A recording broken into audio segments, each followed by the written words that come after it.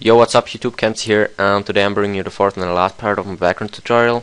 And this part of the tutorial series I'm gonna show you how you can save your um, backgrounds as HD images. And probably most of you already know that but this is a basic tutorial and this is the last part of making a pretty cool YouTube background. So I decided to um, make this tutorial. So as the last part um, yeah here we go. Um, open up the background you just made or you want to save as. And then you're gonna click file and then there's option save as. Don't click that. It's the wrong one. I guess every one of you or most of you will click that when you save your first background.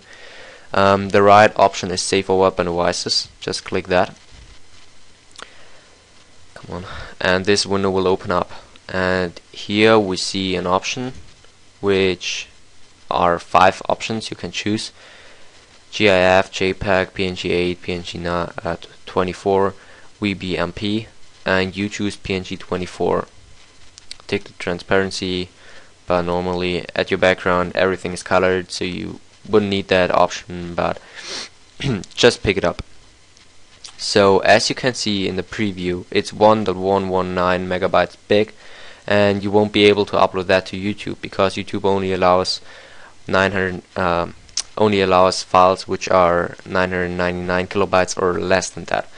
So um, there are two options now how you can save that background. First of it is going to JPEG and putting that on maximum, quality on 100 optimized. Uh, then the size will be at 681 kilobytes for this background. It depends on how much you put it in the background but um, JPEG is pretty good quality as well but not as good as J, uh, PNG 24 so I'm gonna show you the second option just go back to PNG 24 and this option is only available if you added some big textures in the back of the background um, like we did in tutorial. So just choose the eraser put it on about 400 pixels and just erase away the parts at the side where you don't see the texture and where you don't need the texture. So just erase all of that away.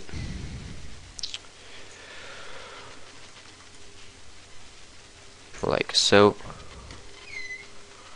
And then just erase away the other side. Um, why we are doing this is because textures are making a background pretty big. So they are making the file size as big that you won't be able to upload it on YouTube. Um, and yeah after you erase that stuff away just click save for and devices. And you should see it should be under 1 megabyte. So it is it's 970.3 kilobyte.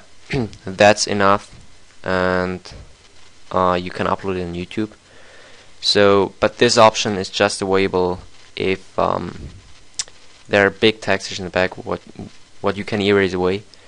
But if you add like many light strokes, you won't be able to put the size of the background down like this. You could um, delete some light strokes, but if the background looks uh, shit without that light strokes, keep them and just save it as JPEG.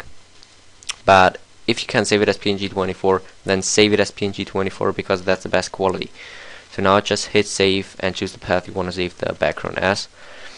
And then it's saved. So now you can upload it on YouTube.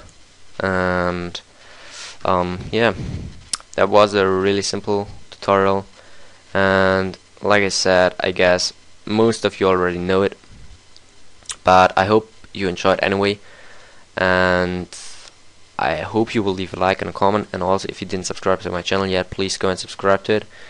And yeah I hope I'm back in a few days like two or three days with another tutorial or a speed art.